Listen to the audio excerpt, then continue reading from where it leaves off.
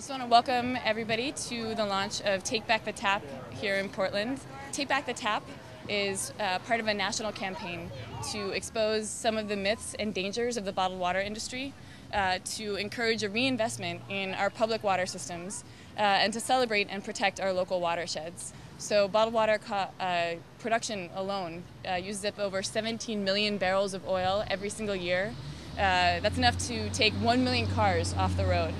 Um, that creates also 2 million tons of plastic waste.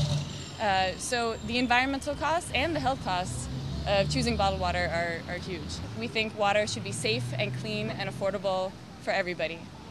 I am uh, Councillor Dave Marshall, and um, on uh, Monday I brought forward a resolution to the Portland City Council. It's called the Resolution to Protect America's Water, creating a trust fund to keep our water clean and safe.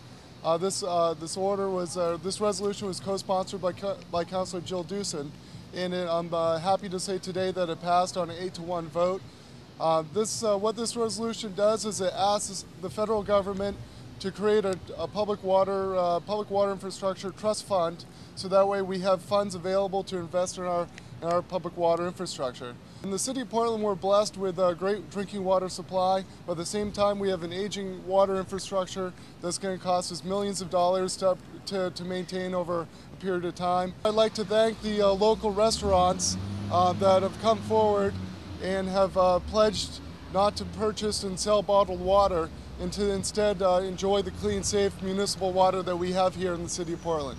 Um, I think today is a really proud day to be uh, living in the city of Portland and seeing uh, the city of Portland be a leader in this country uh, in terms of people's public health and safety, and also concerning resources that uh, are um, very much in demand and are at the core uh, source of a lot of the violence that we see around the world.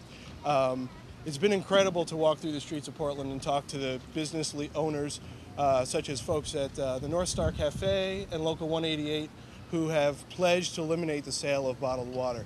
This is not an easy time for businesses, especially restaurants in the city of Portland, um, and their willingness and, and, courage, I'd say, to um, take this pledge for um, their customers' health should be applauded and recognized. And I think that's one of the reasons we chose the farmers market as a location today, because of our um, sincere belief that the people of Portland are very concerned with not just buying locally, consuming locally, but consuming health, healthily.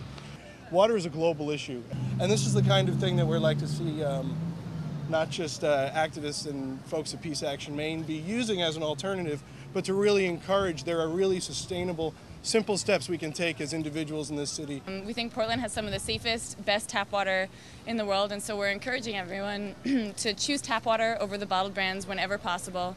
Um, but beyond that, to support policies that protect and celebrate your local watershed, protect a reinvestment in public infrastructure, um, and uh, reaffirm that water is something that should be safe and clean and affordable for everybody.